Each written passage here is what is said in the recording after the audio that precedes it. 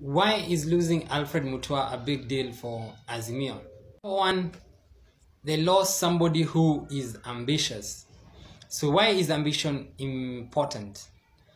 Well, ambition is priceless. You can't buy it.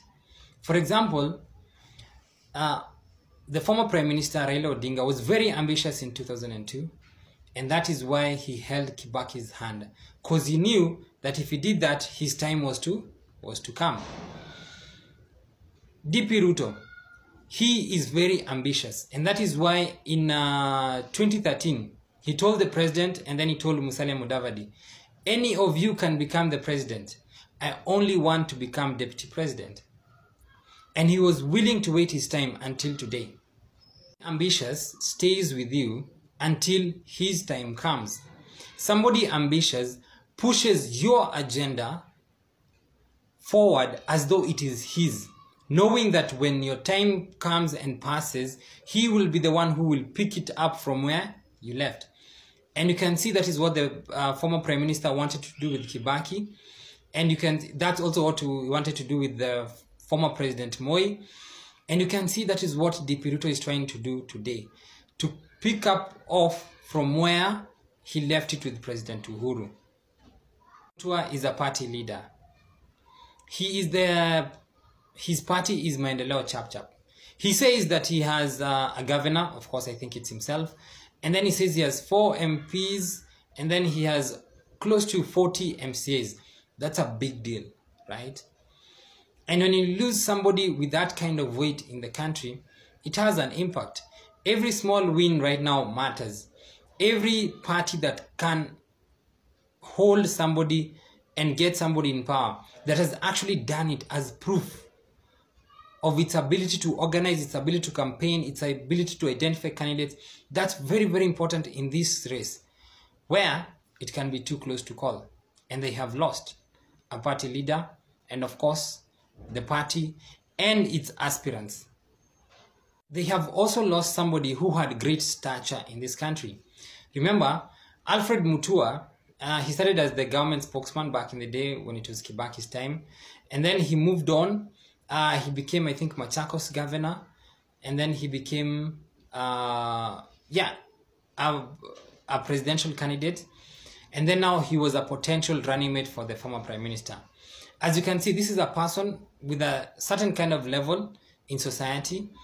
And to lose that kind of person with that kind of stature, it has some, some kind of impact because there are people behind him. There are people who believe in him. There are people whose lives he has touched throughout uh, his uh, tenure in government and also as Machakos governor. And these people will not forget him. And these connections, they are still alive and they can still be activated. So that's one of the reasons why they've lost him because he's a man of great stature. Uh, he's a man of, okay, he has financial resources, not a lot, but uh, some sizable. He can hold his own, right? And uh, yeah, so that's one of the, one of the reasons why it's kind of like a big deal, is that he can hold his own against Kalonzo Musyoka, who seems to be the chief menaces for the former prime minister in Azimio One Kenya uh, coalition party. So why do I say this? Now, you remember that in 2017, Kivutha Kibwana, he had to fold. And he had to join Wiper Democratic Movement for him to vie as governor and for him to win. Now, only two uh, Ukambani governors did not do that, did not join Wiper. And the other one, apart from Alfred Mutua, was Charity Ngilu. She instead ran on the ticket National Rainbow Coalition, which is good. But here's the thing National Rainbow Coalition, yes, it got Ngilu and she became governor, of course, supporting Kalonzo, but National Rainbow Coalition did not have any MPs. And uh, Alfred Mutua, he had more MCA seats under Maendeleo Chap Chap than the National Rainbow Coalition had under its party. So clearly you can see Alfred Mutua is, uh, let's say, one of a kind within Ukambani, within uh, among the Ukambani governors, because he can hold his own without joining Kalonzo Musyoka, and he can help his aspirants hold their own against the influence of Wiper within his uh, Ukambani, and also he can also try and get other candidates across the country. That's a big deal. Reason why Alfred Mutua leaving Azimio One Kenya is a significant development is because it shows us some intrigues that are in Azimio One Kenya. For example, I did not know that things were that bad. I did not know that people were that unhappy. I did not know that guys were ready to bolt so close to the election. But I have seen that thanks to Alfred Mutua.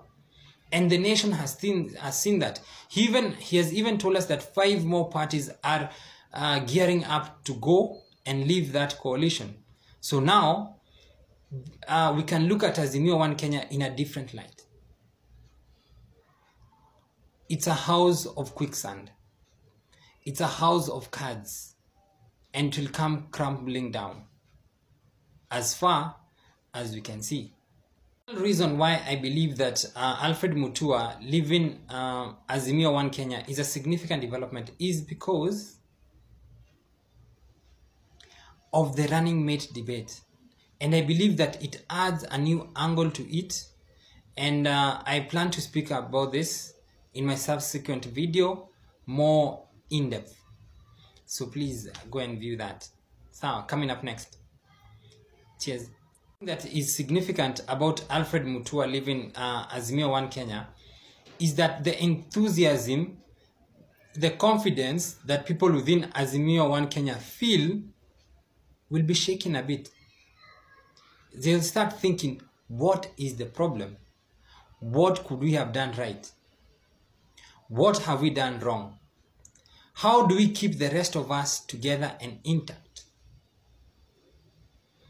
So the, the, the amount of the momentum that they initially had, it will be slowed down a bit as they reflect on what happened and as they try to reorganize, do a bit of damage control, and then now push themselves forward.